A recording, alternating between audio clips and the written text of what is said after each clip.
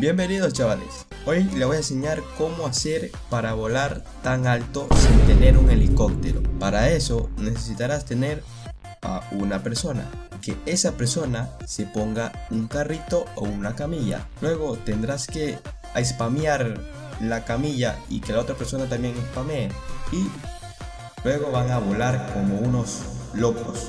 Solo miren.